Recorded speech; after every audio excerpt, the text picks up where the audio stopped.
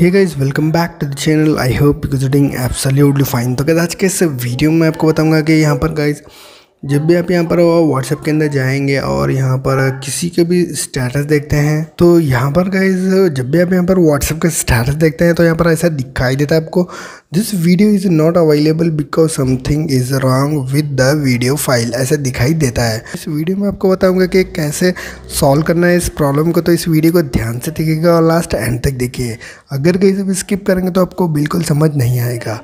तो यहाँ पर गाइज़ मैं स्टेप बाय स्टेप आपको बताऊँगा तो ध्यान से देखिएगा। अगर कहीं जब इस चैनल बनाए तो इस चैनल को सब्सक्राइब कर लीजिए और इस बेल आइकन को दबाकर ऑल सेलेक्ट कर लीजिए और इस वीडियो को लाइक कर लीजिए, क्योंकि मैं ऐसी डिप के लिए लेकर आता रहता हूँ। तो चलिए शुरू करते हैं। तो यहाँ पर गाइज़ स्टेटस को देखने के लिए सबसे पहली चीज़ आपको क्या करना होगा, यहाँ पर आपको आपको व्हाट्सअप की सेटिंग में जाना होगा। तो यहाँ पर मैं जो जो स्टेप आपको बता रहा हूँ, वही आपको करना है गाइज़ और इसके बाद यहाँ पर आपको यहाँ पर आपको स्टोरेज एंड डेटा में जाना होगा यहाँ पर use less data for calls ऐसा दिखाई देगा तो इसे यहाँ पर बंद कर देना है आपको इसके बाद यहाँ पर आपको मैनेज स्टोरेज में जाना होगा गाइस मैनेज स्टोरेज में जाने के बाद गाइज़ यहाँ पर जितना भी जो भी यहाँ पर डेटा यहाँ पर ज़्यादा जा रहा है तो यहाँ पर इसे डिलीट कर दीजिए गाइज़ इसके बाद गाइज़ यहाँ पर आपको चार्ट में जाना होगा चार्ट में जाने के बाद गाइज़ यहाँ पर आपको चार्ट हिस्ट्री में जाना होगा फिर यहाँ पर आपको गाइस अगर आपके पास डेटा यहाँ पर जो चैटिंग है, अगर बहुत हो चुकी है तो यहाँ पर आप डिलीट कर दीजिए या फिर क्लियर चार्ट कर दीजिए गाइस अगर आप इंपॉर्टेंट नहीं है डेटा तब आप ऐसा कर लीजिए गाइस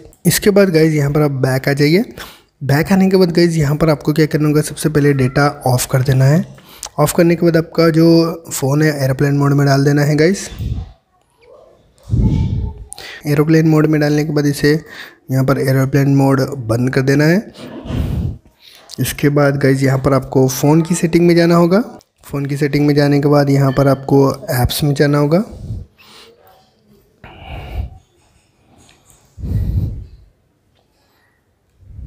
ऐप्स में जाने के बाद गाइज़ यहाँ पर आपको व्हाट्सएप के अंदर जाना होगा गाइज़ यहाँ पर व्हाट्सएप व्हाट्सएप के अंदर जाने के बाद गाइज़ सबसे पहले तो फोर स्टॉप कर लेना है व्हाट्सएप को।